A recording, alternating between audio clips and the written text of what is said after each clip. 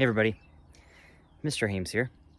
I am at a place called Big Rock Quarry in Big Rock, Illinois, out in the middle of nowhere. And there's a couple reasons that I'm here, but before I explain either of those reasons, I'm going to hike somewhere that's gonna allow me to better explain the point of this video. So, let's go.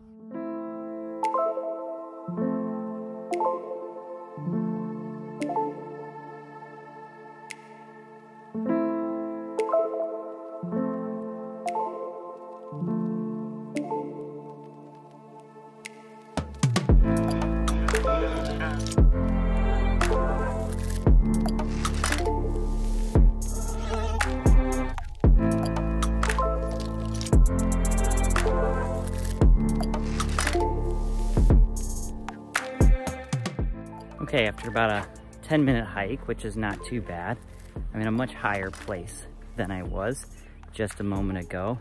You saw some views perhaps on my walk of a lake that was down there. Now that lake was made because that used to be a quarry that's now defunct and this whole place is turned into a forest preserve. And now I'm on top of kind of a lot of the remnants or sediment that was dug up out of that lake was left on the side of that lake as this big hill that I'm on right now. I didn't come here to tell you about that. The reason I'm actually here is because I was here back in December, December 20th to be exact, just a day before the winter solstice, the shortest day of the year and the first day of winter. Today, things are different, okay? It's not cold as you can see around me. There's a lot of bugs here. It's a pretty hot day today. High of 90 degrees earlier today. The sun is setting now, so of course it's cooler. But today is just two days after the summer solstice, the longest day of the year and the first day of summer. It's June 23rd. Now, why did I choose to come back here in the summer when I was here in the winter in this very place? Actually, because I was inspired by this video that was sent by our own art teacher, Miss Meserole, as she is vacationing in Iceland right now. Check it out. Hey everyone, it's me, Miss Meserole. I am camping in beautiful Vik, Iceland, um, and it's midnight.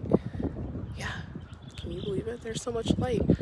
Too much light for midnight. How does that happen? Mr. Hames, you have to tell me, how is it possible for there to be 24 hours of sunlight here? How about that?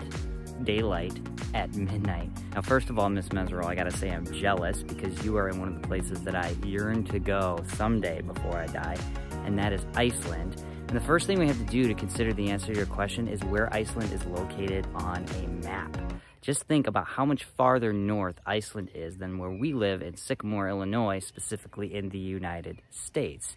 It's almost at the boundary of the Arctic Circle. In fact, the Arctic Circle is just off the northern coast of Iceland. So you are basically in the Arctic. Now with that thought in mind, you gotta come back here to where I am, and I am in unincorporated Big Rock, Illinois, on top of this man-made mountain by myself.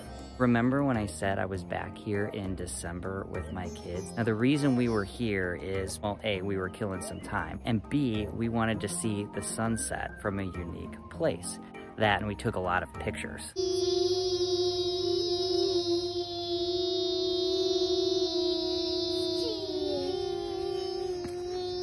So you can see my oldest three, Nora, Jack, and June, thoroughly enjoying themselves on a much colder winter day. And we captured some stunning views of the sun setting, actually, in these farm fields here just behind me. However, there's a few key differences between the sunset back in December and the sunset here in June. For instance, let's first consider the time of day.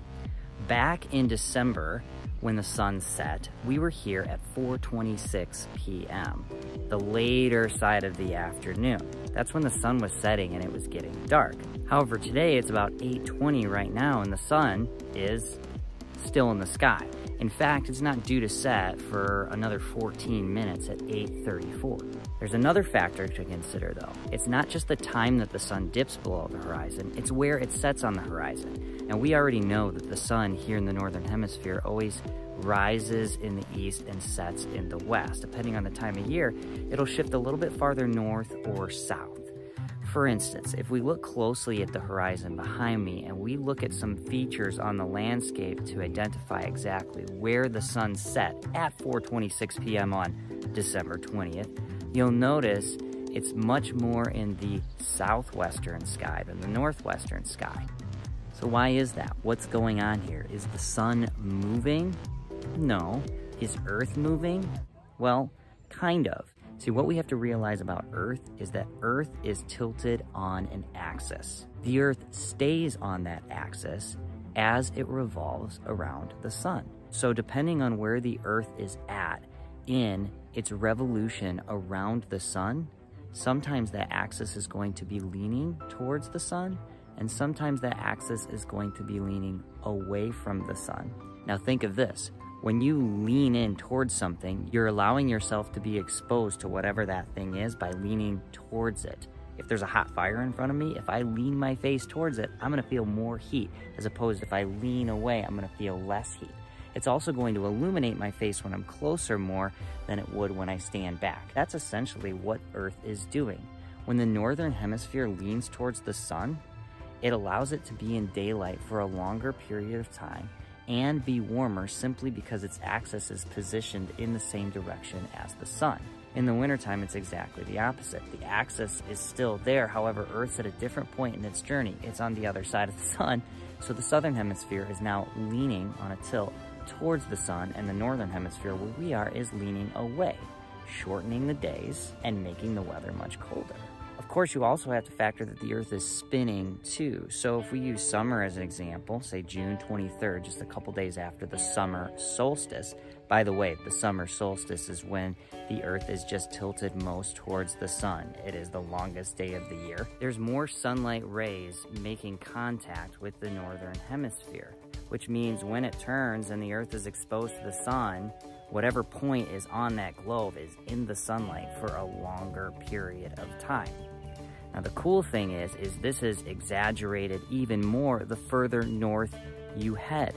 So the northernmost hemisphere, specifically the Arctic Circle, when we reach summer solstice, which is exactly when Miss Meserole seemed to be camping in Iceland, the days get really long, nearly 24 hours to be exact, which means you're experiencing daylight or at the very least twilight all of the time in June. So this is true. The further north you go, the more daylight you're going to experience because the sun has an opportunity to be shining on that portion of Earth for a longer time because of where that location is along Earth's axis. So there you have it, Miss Meserole. Thank you for your question, and I hope you're having an awesome time in Iceland. And to all my viewers and students out there, I hope you're having a great summer. Whatever it is you're doing, I hope you're disconnecting a little bit finding some time to rebuild and renew you before another school year starts in August when the days are still warm, but just a tad bit shorter than they are now. And now you know why. See you guys.